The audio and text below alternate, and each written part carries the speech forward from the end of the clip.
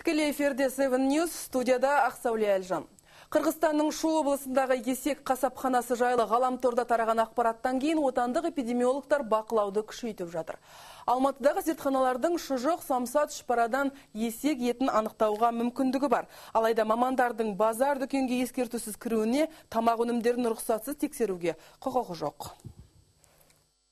өткен аптаның соңында ғаламторға шыққаннан кейін біз енді сондай жамбыл облыстарына сондай тапсырмалар беріліп жатыр сондай тамақтар өтіп кетсе дереу жаңағы зертханалық тексеру жүргізу керек деген. Әртүрлі консервілерде мысалы сиырдың немесе жылқының консервілесінде ол жаңағы есектің днксы бар ма жоқ па соны қазір тексере аламыз.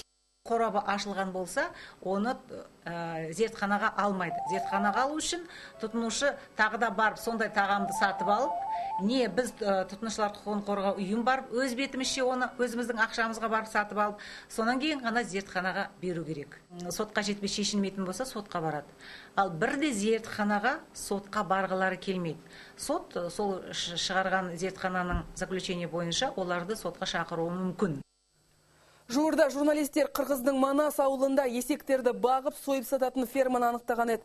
Олардың болжауынша арам ет базарларда сиыр, қой еті ретінде сатылып келген. Ал Қытай асханалары мен самса және жедел тағам әзірлейтін дәмханаларда есек етіне сұраныс артқан. Себебі нарықта оның бағасы арзан көрінеді.